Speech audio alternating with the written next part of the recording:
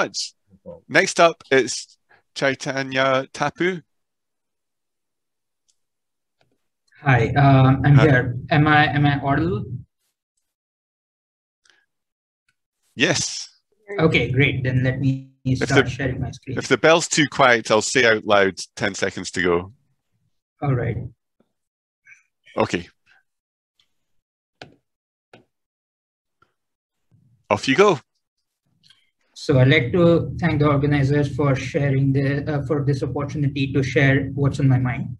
Um, we saw just now in Francisco's lecture the definition of uh, Teichmuller space and the action of the mapping class group on it. And uh, I just basically copied the definitions from his notes onto the screen, nothing new here. One difference is that I like to call the mapping class group MCG rather than ModG.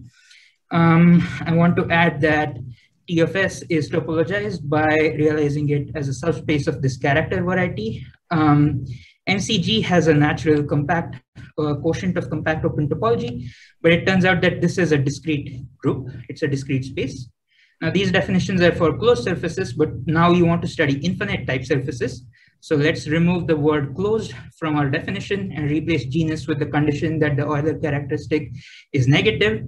And uh, I said negative, but uh, we want to focus on the negative infinity here. So what is the right space for MCG to act on? So following some ideas of Thurston, here's what I believe is the right guess.